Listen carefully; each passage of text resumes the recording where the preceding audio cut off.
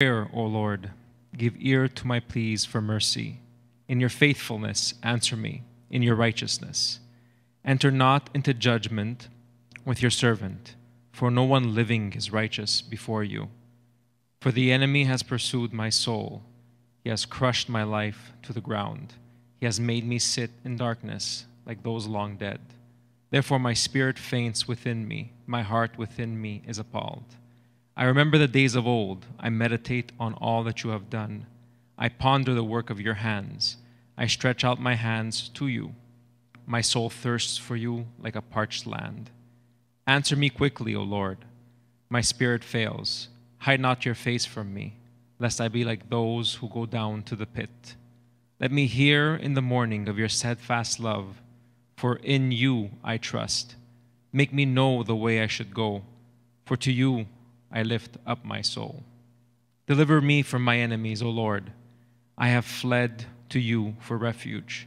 Teach me to do your will, for you are my God. Let your good spirit lead me on level ground. For your name's sake, O Lord, preserve my life. In your righteousness, bring my soul out of trouble. And in your steadfast love, you will cut off my enemies and you will destroy all the adversaries of my soul. For I am your servant. Father, as we prepare our hearts to join together to worship you, I ask that you would always help us remember that the reason why you saved us was for your glory and your glory alone. And we are grateful for that. For because of that, we're able to tell the world who you are, what you have done. And as we're surrounded by trouble at times, may you come and lift up, lift up, lift us up. Lift up your servants, O Lord, because that is what we are. Again, I come and I, and I ask that you will be with the situation in Ukraine. Um, help our brothers and sisters that are there.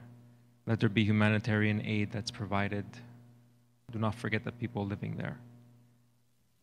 And I pray that you will come join us in this service. Be with the speaker. Pastor John, as he delivers your message, Lord. We are grateful for all that you have done, we thank you for who you are. In Jesus' name.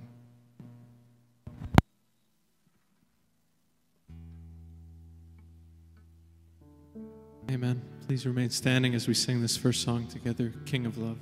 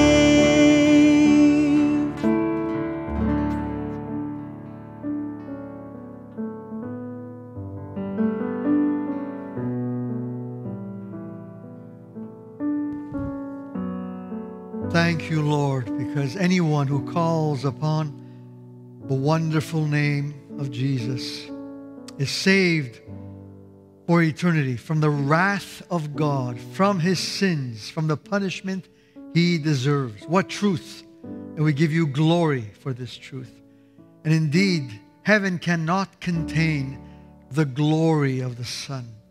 The wonderful Lord, we look forward to seeing your glory in full. Right now, we are tasting it by faith in the salvation that is ours, in the joy that is ours, in the forgiveness that is ours, in the fellowship that is ours, in all the gifts that you give to us in Christ.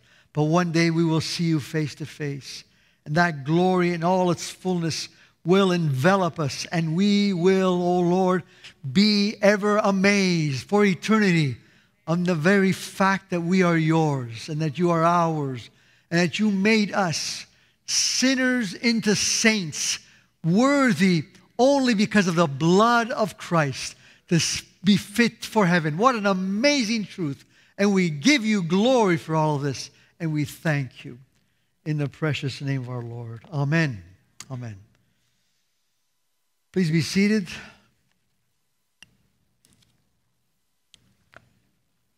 And um, so today we're going to continue with this parable. This is the last in the series of uh, this theme on, on forgiveness and focusing on the unforgiving servant.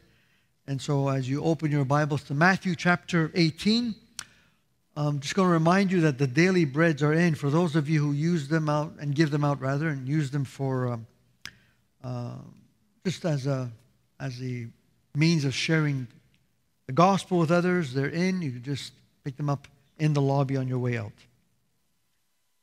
So, Matthew chapter 18, we're going to resume again our reading. This is the third time we're reading this parable, and hopefully you've been reading it on your own as well. Matthew 18, please stand for the reading of God's word. Matthew 18 from verse 21. And then Peter came up and said to him, Lord, how many times Shall my brother sin against me and I still forgive him? Up to seven times? And Jesus said to him, I do not say to you up to seven times, but up to 77 times. And for this reason, the kingdom of heaven is like a king who wanted to settle accounts with his slaves. And when he had begun to settle them, one who owed him 10,000 talents was brought to him. But since he did not have the means to repay, his master commanded that he be sold, along with his wife and children, all that he had, and repayment be made. So the slave fell to the ground and prostrated himself before him, saying, Have patience with me, and I will repay you everything. And the master of that slave felt compassion, and he released him and forgave him the debt. That slave went out and found one of his fellow slaves who owed him a hundred denarii. And he seized him and began to choke him saying, Pay back what you owe. And so his fellow slave fell to the ground and began to plead with him, saying, Have patience with me, and I will repay you. But he was unwilling and went and threw him in prison until he would pay back what was owed. And so when his fellow slaves saw what had happened, they were deeply grieved and came and reported to their master all that had happened. And then summoning him, his master said to him, You wicked slave. I forgave you all that debt because you pleaded with me. Should you not also have had mercy on your fellow slave in the same way that I had mercy on you? And his master, moved with anger, handed him over to the torturers until he would repay all that was owed him. My heavenly Father will also do the same to you if each of you does not forgive his brother from your heart. Lord, may you add your blessing to the reading of this word. In Christ's name we pray. Amen. Please be seated.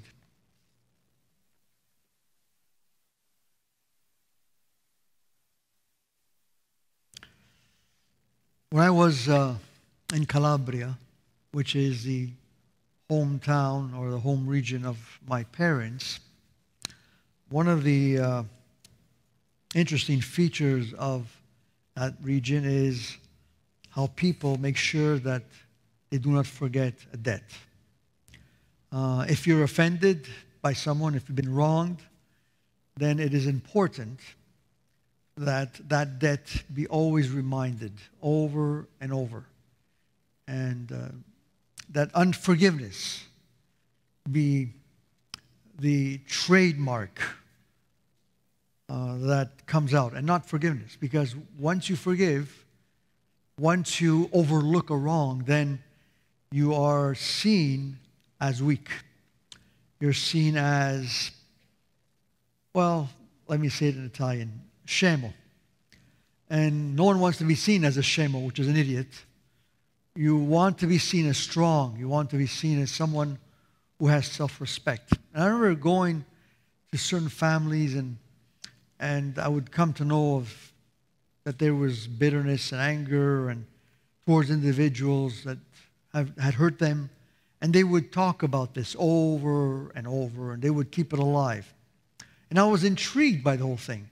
I said, why? And I found no other area of Italy um, that fixated with remembering wrongs.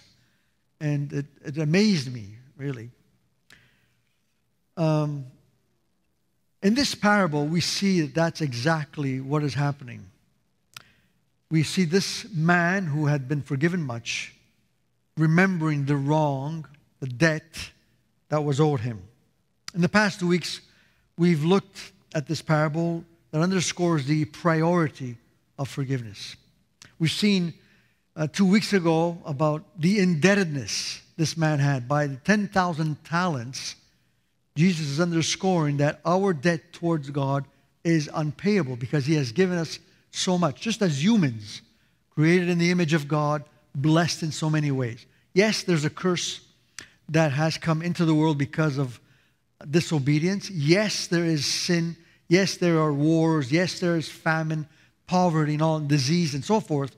But God's grace still is very present. God's mercy is present in this world. God rains on the just and on the unjust. He shines his sun on the just and on the unjust. So God says, basically through this parable rather, the Lord is telling us we are indebted. That's the first thing.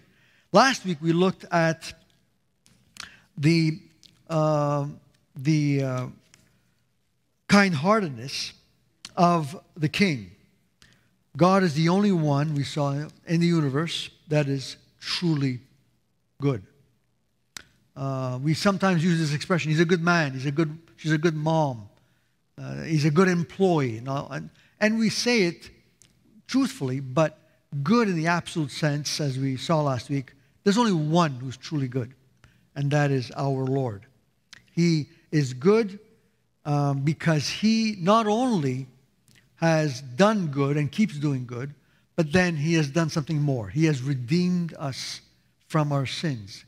God's people, the elect, were saved mercifully and brought into the kingdom of God. This is his doing. And therefore, we have experienced his goodness to an even greater degree. And because of this, because we owe him so much, and because he is actually good and kind hearted, these two truths should motivate us to forgive. No one should even dare think of not forgiving. But one more truth stands out in this parable, and this is the truth we're going to focus on today because it cautions us against not forgiving. What should happen if we choose not to forgive? And here we're going to be looking today at the severity or the, or the austerity of the king. The parable does not hide the fact that there are serious consequences when we do not forgive. And there have been times in our lives uh, where we have held off forgiving for one reason or another, even as believers. And by doing this, we do ourselves a great disservice and we dishonor the Lord. That's what this parable is underscoring. So, the first thing I'd like to draw your attention to is the certainty of being wronged. We're going to be wronged. It says in verse 28 that slave went out and found one of his fellow slaves who owed him a hundred denarii. So this simply means that there are people who are going to wrong us, people that owe us. And those that owe us, um, we remind them of this debt. Murphy's Law is, is very well known. You know, if something can go wrong, it inevitably will go wrong. And the same is true when it comes to being hurt. uh, you will be hurt. You can hurt others, and you will hurt others, especially those closest to you. Hurts and pain are woven into the fabric of life, and there is no place on earth where you can shelter yourself from this kind of pain unless you live totally isolated from everyone else, which then, of course, that's not living. You will be wronged and you will wrong others. People will hurt you and you will hurt others. And the closer you are to someone, the more being wronged becomes unavoidable. In Scripture, we have one man who God chose to be wronged multiple times. He was hurt several times. The man I'm speaking about is David. Now, it's true that Joseph was wronged, but he was wronged once, let's say, by his brothers, and that's it. He was hurt, he was sold, and then after that, he had to reunite with them many years later and forgive them. But in David's life, different individuals were close to him hurt him deeply. You have, for example, his mentor and his king, Saul, who for no reason at all turned against him and hunted him from cave to cave and became David's archenemy. He was basically convinced that David wanted his throne. Of course, that wasn't true, and he just became a man who hurt him over and over. And David one time pleads with him, Why do you listen to others? Why, he says. Basically, trying to make him understand. But until his dying day, David was hunt, hunted by King Saul. Then you have Ahithophel, another individual in David's life. And David speaks of him in the Psalms. And Ahithophel was his beloved friend and his trusted counselor. He was very close to David. And turn, Ahithophel turns against uh, David, siding with his enemies, even going as far as planning the death of David. And that hurt him deeply. And he writes a psalm based on that experience. We see also his son Absalom, one of his favorite sons, and, uh, a hero in some ways, a very popular figure in that day because of his handsomeness, his wavy long hair. He'd cut his hair and, and they would weigh it and made, had a statue built in his honor and so forth. And Absalom, one of his favorite sons, turns against his father and leads the entire country against him. And David is perplexed by all this and hurt upon hurt, pain upon pain. Now, the question is why would God allow David to be wronged this way, to be hurt this way several times? And uh, he speaks about it in his Psalms. He calls out to God. He asks for his help. And he says, Where are you, Lord? And so forth. Well, we don't know exactly, but we can, from Scripture, deduce two obvious reasons why God chose David to be hurt this way. David, first of all, is a picture of Christ. No living being has been more hurt than our Lord Jesus Christ. Peter writes of the wrongs Jesus received and say in these words in 1 Peter chapter 2, 22 and 23. He who committed no sin, so that's Jesus, he committed no sin, nor was any deceit found in his mouth. There was ever, ever any uh, lie or any deceitful thing said. And while being abusively insulted, notice he doesn't hurt anybody, he does only good. But our Lord was abusively insulted. He did not insult in return. And while suffering, he did not threaten, but kept entrusting himself to him who judges righteously. So David is a picture of Christ, right? So in the Old Testament, for those who only read the Old Testament, such as the Jewish people, they could look at David and see him as a picture of the Lord. He foreshadowed the sufferings of Christ, of the one who was never insult, never insulting, never threatening, never retaliating, even though he was mistreated repeatedly. These Psalms highlight the sufferings of Christ, of the suffering servant, even before Christ came. So when, in, when you read David's words in Psalm 22, my God, my God, why have you forsaken me? Right? You get a, already a taste of the words that Jesus himself would utter at the cross when he would say, My God, my God, why have you forsaken me? So he's a picture, he's a type of the Christ who was going to be insulted, mistreated, and wronged. and would himself take all our sins and our reproaches upon himself. That's the reason number one. Reason number two is that every time we, for example, we go through some pain or we are wronged by people we love or people that are close to us, family members, a brother or sister or spouse, someone who wrongs us deeply and hurts us deeply, when we read the Psalms, we find comfort. So basically, what David went through as he penned those words, little did he know that they would be uh, used and read by people for thousands of years. And here we are still reading his words, still finding great comfort and strength so that we do not take matters into our own hands. When we read the Psalms, we begin to realize that vengeance belongs to the Lord and it doesn't belong to us. So it helps us to entrust ourselves, like Jesus did, to the one who judges righteously, as uh, Peter writes. So we have these two obvious reasons in Scripture as to why God chose David. As I said last time, a few weeks ago, there are no such things as greenhouse Christians. In other words, Christians that are sheltered from the storms of life. And even a wrong that comes into our lives, someone who hurts us, someone who causes us pain, is ordained by the Lord. It's hard to understand this. It's hard even to, as you going through that painful experience, to even embrace this. But as we trust Him more and more, we learn to accept the hurts that people inflict upon our lives. We don't place ourselves in hurt's way, of course not. But if the storm comes, we understand that Christ-like characters, Christ-like a uh, character rather, Christ-like virtues are being reproduced in the lives of God's children. The believer, more than anyone else, can face hurts with a different attitude. So, why is it that in places like Calabria, and there are other parts of the world, I'm sure, why is it that they would rather hold on to their hurts? Why is it they would love to, uh, they would prefer to relive them? It's because they haven't understood this verse, which is found in 1 Timothy 1 7. For God has not given us a spirit of timidity, but of power and love and discipline. A spirit of fear. What happens? If I forgive someone, I'm afraid he's going to do it again. If I forgive someone, he's going to see me as weak. If I forgive someone, it means it hasn't really, the situation has been resolved and it didn't really hurt me. We create a thousand excuses to why we should not forgive because we're afraid. And Paul says God has not given us a spirit of timidity, of fear, but of power. What does that mean? God is in control.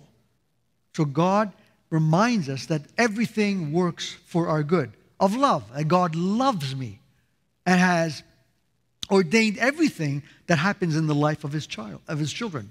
And lastly, of discipline, which means that God is cleansing the dross from me. He is refining me so that my faith, which is more precious than gold, shines. So therefore, I don't have to fear someone wronging me. If I open my heart, if I'm vulnerable, they're going to step all over me, or he's going to do it again, she is going to do it again. This kind of thinking is because we haven't understood the fact that God's Spirit is one of power, of love, and discipline. But when we don't have that understanding, we will be governed by our fear. We will have timidity. And we will walk in fear of people being hurt, hurting us or people being um, planning some kind of wrong against us. We should never, ever give in to that fear, ever. Only the enemy wants us to do that. Secondly, we see the corruption of the human heart. In this slave, we find this one that has been forgiven. He's no longer a slave, by the way. He goes and finds out, he finds out, uh, finds another slave who owed him a hundred denarii, verse 28. A hundred denarii is a minuscule, uh, an infinitesimal amount when compared to 10,000 talents.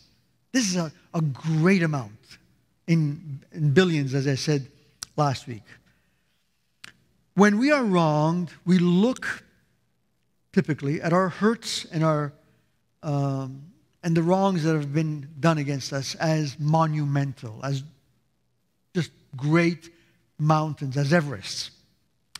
And instead, we look at our sins against God as molehills. Yeah, we sinned against God. Yeah, we all sin. Yeah, we're not perfect. Yeah, yeah. But when we think about someone who's wronged us, wow, that memory is alive. That thought consumes us, and we're driven with feelings of anger and, and vengeance.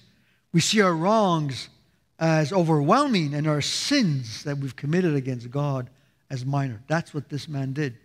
The parable tells us that he, this man owed him a hundred denarii. That is su- such a small amount. Not even a, way, a day's wages. Now, the, what, was he, what was he forgiven? The, what amount was he forgiven? 10,000 talents. And we calculated that that day was about $2 billion. That would be like what today? $200 billion? In other words, it's an unpayable amount. The 100 denarii is small. What is Jesus trying to underscore with this? He's saying, what the wrong he has done to you, whatever wrong, and you can go to whatever kind of wrong, of offense in this life. All right? I brought you the example of Simon Wiesenthal, who refused to forgive the man who confessed about killing Jews and mowing them down and burning their houses, burning them alive, and all this kind of stuff, and was asking forgiveness from him, right? That's an awful thing that man did. And I am not in Simon Wiesenthal's shoes. But what this parable is saying to us is that that wrong, taken in and of itself, cannot be compared to the wrong we've committed against God. That's what this parable is saying. Now, if we don't see that, we say, well, this is awful. This is really bad. How can we never, how can we compare the Holocaust to anything else? We have today people try to keep the, the Holocaust always alive through movies, through storytelling, through books, museums. There's a Holocaust museum just on, I think it's on Côte St. Catherine. It's just always alive. Lest we forget are the words.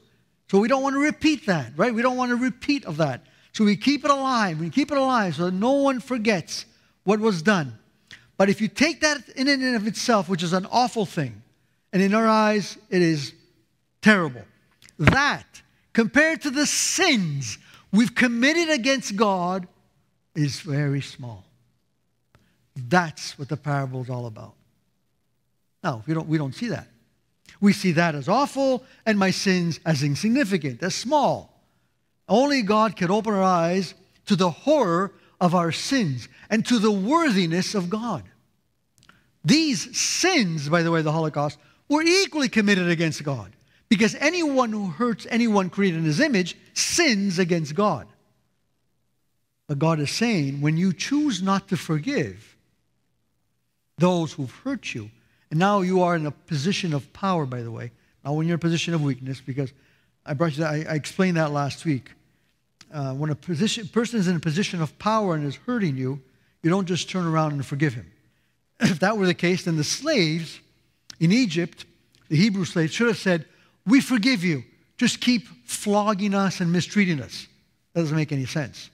You never forgive someone who's in a position of power and is hurting you. You forgive them when you are now in a position of power, when you have leverage. And now you remember what they've done and you extend forgiveness. That's different. In fact, God's people were told after they were brought out and no longer in Egypt and no longer as slaves, they were told, when an Egyptian comes in your midst, you will treat him as your brother. What is God telling them? So you don't forgive them then when you were slaves, you forgive them now that you have your country, your nation, and the Egyptian is visiting you. You forgive him, you treat him kindly. That's forgiveness, right? Just to going back to what I said last week.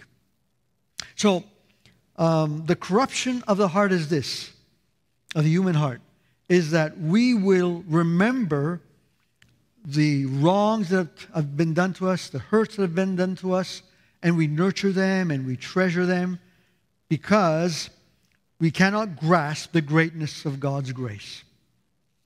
And we think that our wrongs are minimal and that against God, and the ones done against us are monumental. How do we know that for sure that we've understood God's grace? Think about it. How do I know for sure? Is it because I sing Amazing Grace? Is it because I know the doctrine of grace or the doctrines of grace? How do I know this for sure? I know it because when someone hurts me, I treat him the same way as my Heavenly Father has treated me. I forgive him because I will be wronged and I will wrong others. When I understand that my sins against God are monumental, then I will freely forgive any wrongs done against me. When instead I see my sins against God as minuscule and see the wrongs done against me as monumental, as a mountain, then I will have a very hard time and I will keep alive the memory of that wrong. Little wonder Jeremiah writes about our heart the heart is more deceitful than all else and is desperately sick. Who can understand it? Our hearts, apart from God's grace, are so corrupt that we begin to see other people who wronged us in a wrong light. And then we hold them accountable and we make them want them we want them to remember that they've hurt us. And we turn to God and, and say, Oh Lord, bless me. And oh Lord, thank you for this wonderful day and give me what I need right now. We realize that God is not listening to our prayers, as we're going to see shortly. That's why the words of Paul are real. Oh, wretched man that I am, when I don't forgive. Three, the craving to get even. I spoke to you about uh, people in Calabria. But let's read these verses just so that we understand what I'm trying to say here. That slave, the one who had been forgiven, went out, found one of his fellow slaves who owed him a hundred denarii, seized him, notice, began to choke him. But I want you also to notice that he found him, which means he went seeking out for him, okay? It's not that he happened to just walk by and, oh, here you are. It's, he purposely went to find him. He owed him a thousand, a hundred denarii, seized him, began to choke him, saying, Pay back what you owe. So his fellow slave fell to the ground and began to plead with him, saying, Have patience with me, I will repay you. And of course, this was doable. A 100 denarii, a day's wage, yes, he would have paid him. But he was unwilling, and he went and threw him in prison until he would pay back what was owed. Since we see our wrongs typically as gargantuan and uh, view our sins against God as minuscule and significant, it's only natural that we want the person who's hurt us to pay. We, they must pay. We keep saying that to ourselves. They have to pay. He hurt me, he's going to pay. He did this to me, he's going to pay, and he's going to pay deeply. I'm going to make him pay. These are the words that I've heard come out from the mouths of individuals. I remember when I was in Calabria again, I met relatives. These were relatives, okay, related to one each other, cousins and so forth. And they were divided in two factions. And the one group made sure that they never talked to this group. So whoever was a member of this group did not talk to this group. They avoided them. If they would, for example, be walking on this down the same street, they would turn back or cross to the other side just to make sure they would not greet each other. If one was in the store, the other would look and make sure not to go in until the other one left, and so forth. It was just a horrible thing. And this had lasted years. And so I asked one of them, I said, Tell me, what exactly was the offense that was done to whom and when. And I kid you not. Now, obviously, these were large families and a good number of people involved. And they, they, they turned to each other and they said, Look, I can't remember exactly when, and I can't remember what it was, but it was awful. It's okay, but what exactly? What, what happened? I mean, okay, you, you, you who, to whom? Uh, I think, and there's talking about some relative years ago. And they, they preferred to stay in that environment of uh, being spiteful one to another and keeping the offense alive than forgiving each other and letting bygones be bygone. Now, why is that? Well, they bring it down to one word. this is an important word in, uh, in Calabria. Rispetto. Rispetto, rispetto. Means respect. So he goes, if I am not respected, uh, life is not worth living. And they go on living this way. Now, again, I'm sure there are other parts of the world that live to this degree of um, unforgiveness. But this is what I encountered in, uh, in Calabria, especially. Now, we may look at something like that and laugh and say, wow, this is really ridiculous. Well, believe you me, brothers and sisters, we may not go to that extent, but any extent of unforgiveness really is, in God's eyes, reprehensible. The thought of forgiving others to some of us is so foreign that we would rather not forgive and remember the wrong that has been done against us. Paul reminds us, lest we have this craving to get even, all right, this lust to make others pay for the wrong that have done, they've done against us. Paul reminds us in Romans 12, verse 18 never repay evil for evil to anyone. Never. Verse 19 Never take your own revenge, beloved, but leave room for the wrath of God. As I said earlier, the Psalms help us to leave room for God to exact whatever revenge needs to be exacted by the individual that has wronged us. Vengeance is mine. I will repay, says the Lord. But this is what you do in the meanwhile. If your enemy is hungry, feed him. If he is thirsty, give him a drink. For in so doing, you will heap burning coals on his head. Do not overcome evil by evil. Or rather, do not be overcome by evil, rather, but overcome evil with good. Do not be overcome by evil. How do we get overcome by evil? By refusing to forgive. Our hearts become hardened. We don't listen to God's voice. His word is no longer attractive. And uh, the songs mean nothing. And because our hearts have been hardened by the deceitfulness of sin. Now I'm going to go to an area of this parable that um, has caused me to pray and uh, over the years and has caused me to watch my heart because I know how real this is. I've met individuals that have been um, disciplined by the Lord because of their unforgiveness. And in looking at their lives, I was reminded how true it is what this passage says.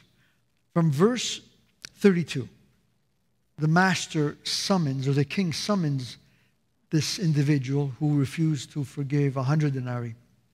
Then summoning him, his master said to him, You wicked slave, I forgave you all that debt because you pleaded with me.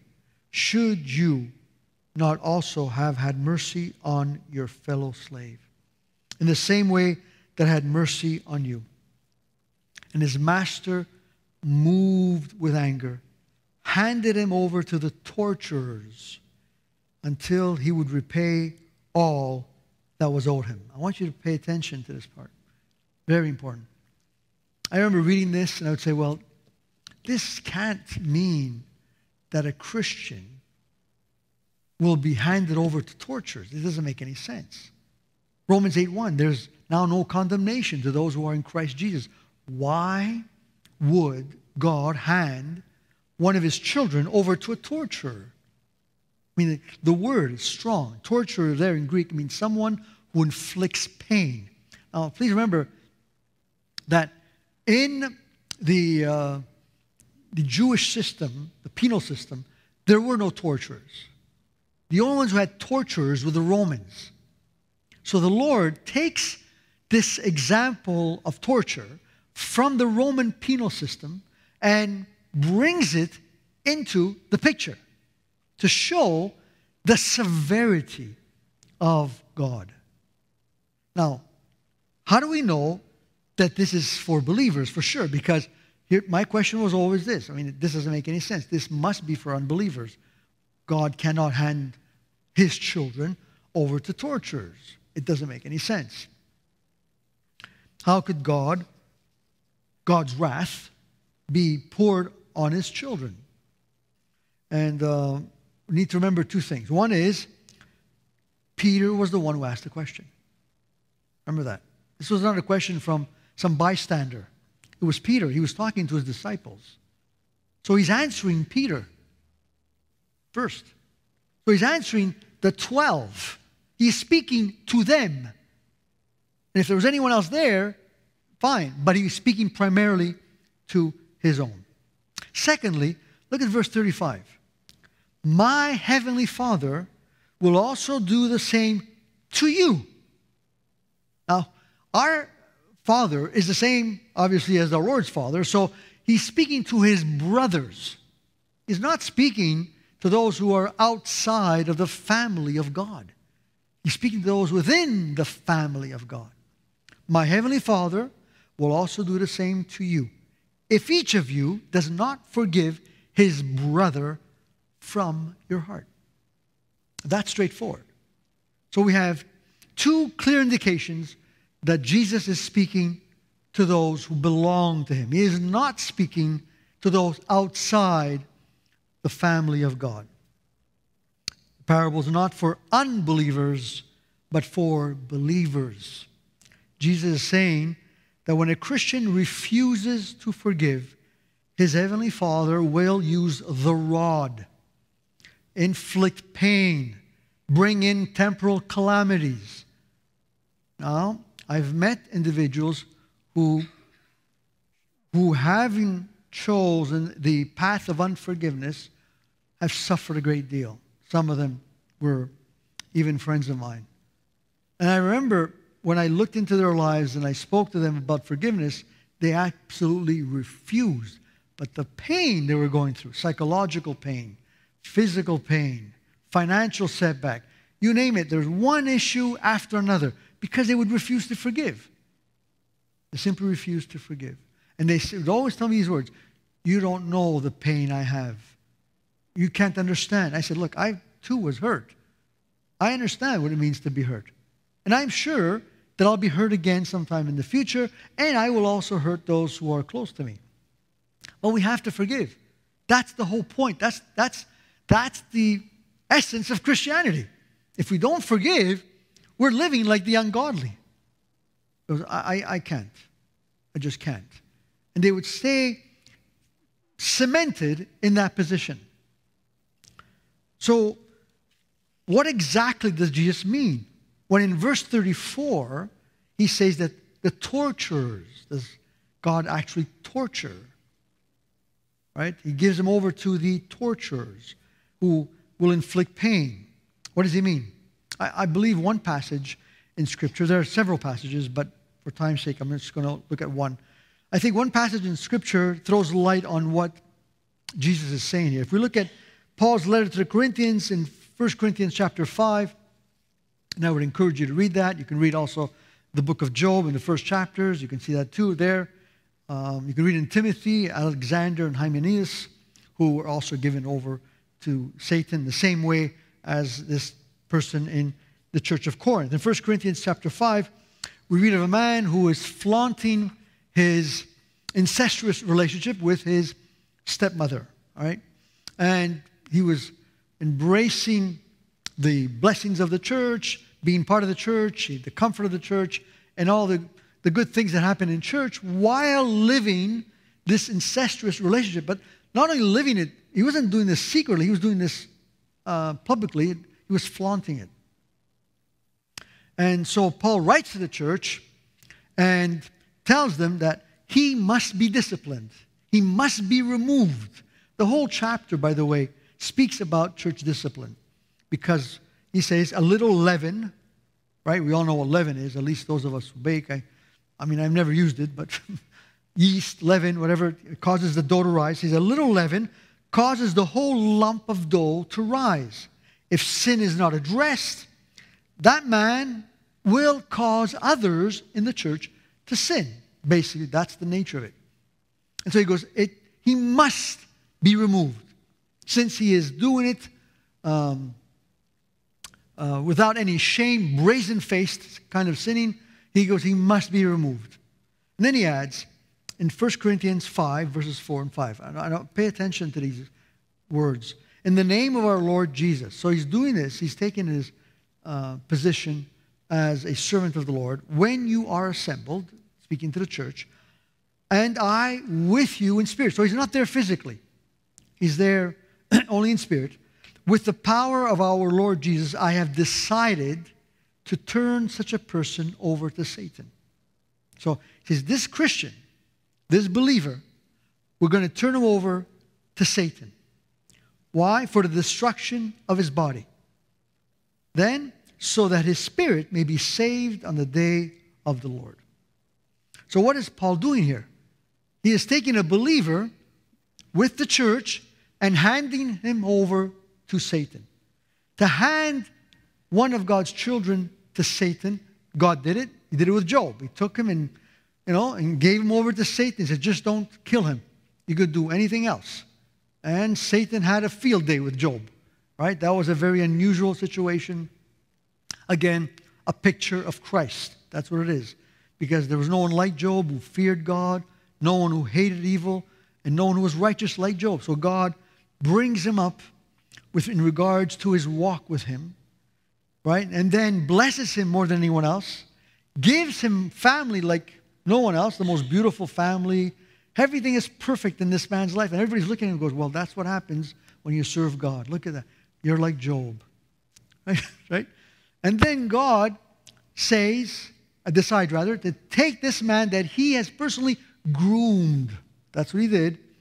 He grooms him to be this uh, exemplary individual, an exemplary family in every way, and then hands him over to Satan. That's what God did with Job. Now, he doesn't do this, did this exceptionally. The other person who did this, of course, is his own son, whom God handed over to Satan for our sins. Right? Job is a picture of Christ. That's what really the whole story is about. But here we see Paul doing it. And it's specific. He goes, for the destruction of his body. That's what it's for. So, in other words, Satan is now free to inflict pain, any kind of pain necessary, and of course there would be limits because God would bring in the limits, on this man. And as I said earlier, I've met individuals who have refused to forgive and have had diseases, I've had psychological problems, I've had all kinds of pain in their lives because of their refusal to forgive. Why does God do this? Because He wants to save them on the day of the Lord. That's why.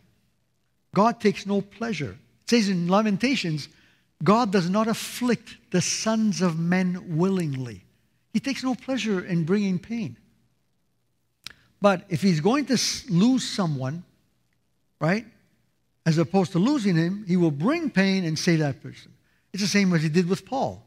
He brought us, he let Satan buffet or, uh, you know, as they say in, uh, in Italian, schiaffeggiare, buffet Paul with this thorn in the flesh. Why? So that he would not be lifted up with pride, so that he would not be lost.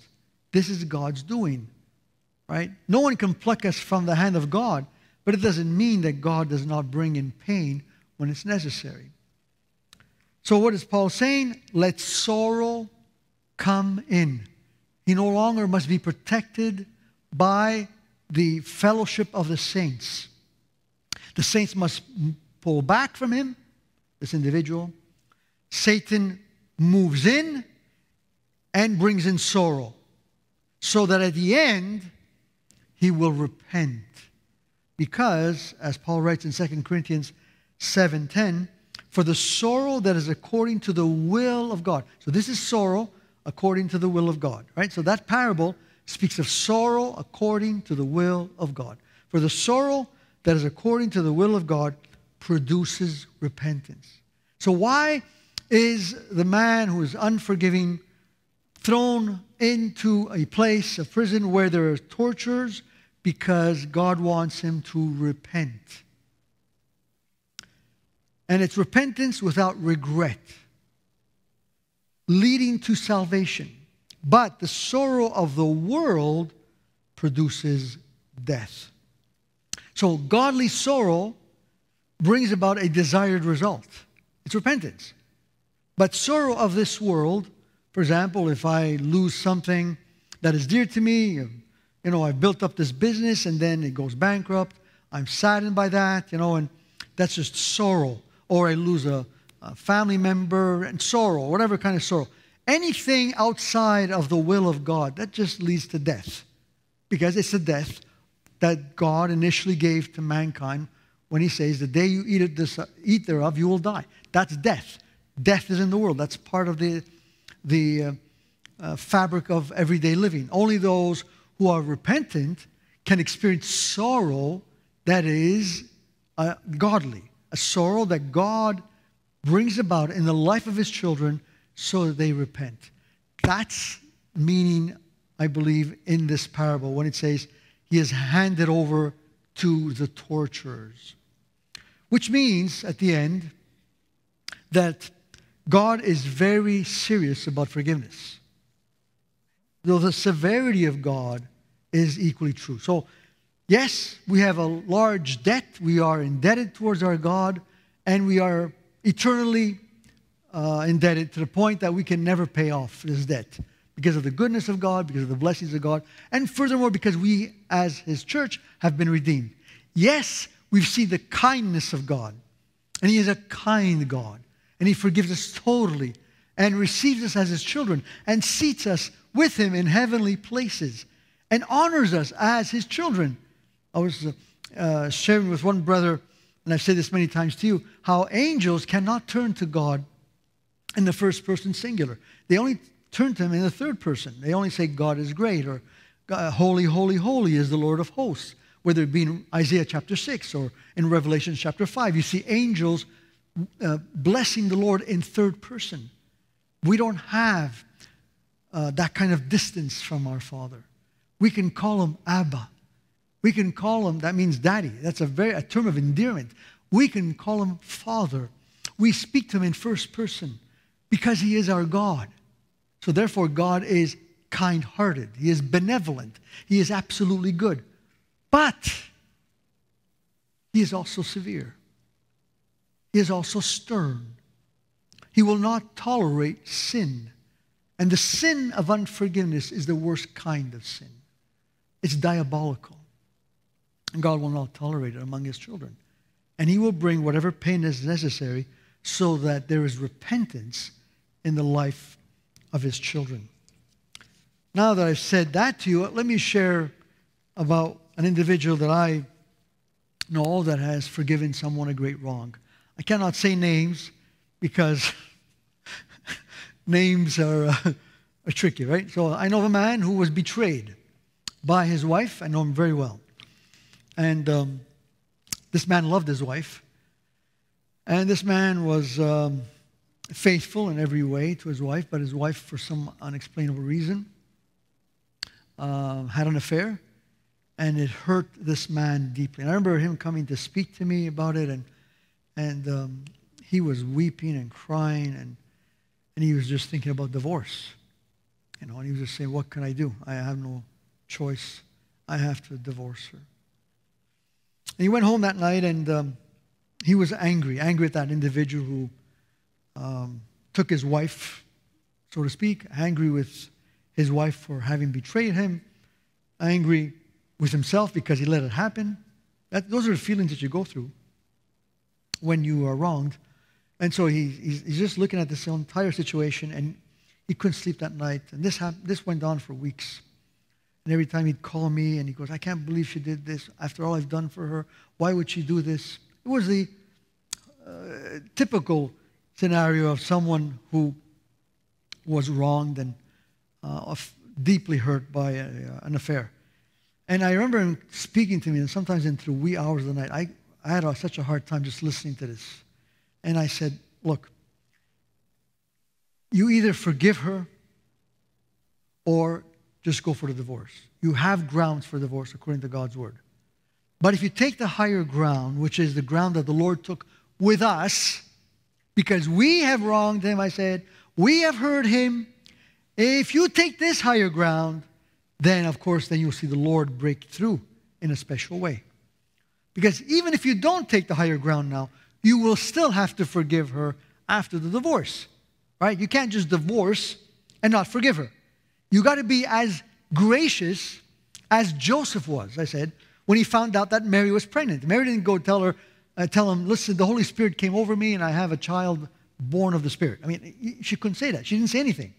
And yet Joseph did not want to shame her. He, did, he was a forgiving man, right? He was a righteous man. I said, you need, you have to come to, to the point of forgiving her. Now, this man was a godly man. Please understand, this man was not your Christian who haphazardly followed the Lord. This man was a, a serious Christian, a very dedicated Christian. He, was loved by the church, he was loved by God's people, and I knew him well. So I said, You have to forgive one or another. Either you divorce, you forgive her later, or you take the high road and forgive her and you win her as God gives you grace to win her back. Like an Hosea with a Gomer. And he was upset when I said those words because I had just had enough. Week, What did he? Why did she do this? Why did she, I can't take it? Day after day, I was just exhausted. I said, you either do this or you do this. I don't want to hear about it anymore. You know what to do. You know your Bible. You choose. Anyways, after a while, I didn't hear from him. I think he was upset of what I told him. And, uh, but then I found out this is what he did. He started to go after her. He said, Lord, you have to give me the grace to win my wife back. Just like you gave grace to Hosea to win back Gomer time after time, even, even if it may mean that she will hurt me again this way. Because Hosea had no guarantee that Gomer would not sin and would not be unfaithful, right? In fact, she, she did it several times. So he goes, That may happen. That was his greatest fear. You have to change my heart so that I could forgive her and love her because I want to be given another chance to love her as you love us. This was his prayer. But you have to change my heart because I just, I want to scream and I want to just, you know, give her to the dogs and just condemn them all and see your wrath on them. Well, the Lord did give him grace. And to, to make the story short, he not only won her back, but that young man, because he was a much younger man, and basically he just, you know, he, he just flattered her and gave her attention that this, uh, the husband was not giving. That's basically what happened. And he flattered her, and she fell for uh, his flattery. That young man then repented many years later, not right away. She repented, she asked forgiveness, and they were reunited as husband and wife. Now, that's an amazing situation. That's very unusual. I've seen other cases where that did not pan out that way. But his forgiveness paved the way for her to change her heart. His forgiveness was so thorough, I was amazed by it. I remember speaking to him, and he would tell me how much he loved his wife with tears in his eyes. I remember one time I was at a gas station with him, and he was pumping his car with gas, and he looked at me and goes, You know how many times I would think about this gas, and I wish I would burn her alive with it? I, would, I wanted to drench her with gas and light a, uh, light a match and turn the whole thing on fire. Oh God, forgive me, he would say. What thoughts, what evil thoughts. That's forgiveness. That's forgiveness. It doesn't mean that the pathway to forgiveness is immediate. But when we realize that God is serious about forgiveness and that the debt he has forgiveness is so great, how can we turn back and turn to him and say, you know what, I'm not going to forgive? We can't do that. We are not free to do that. May the Lord give us grace to put his word into action. Let us pray. Heavenly Father, thank you for your word. It is just remarkable. Remarkable to see how much you love us. Remarkable to see how much you have forgiven us. But we also are fully aware that we can minimize this grace and maximize the hurts we've received, the wrongs we have received in life. Uh, we can do that. Lord, I just ask that you would give each one grace who has yet to forgive. Lord, let the severity that we read about this evening compel us to obey you. We don't want to have our lives handed over to Satan and be tortured in our minds, in our psyche, or physically, in whichever other way, so that we could be one day saved. We don't want that to happen to us. But we know that you will spare no expense. Because if you did not spare your son the cross, why would you spare pain in our lives? If you did not take him away from what he did not deserve, why would you not give to us what we do deserve?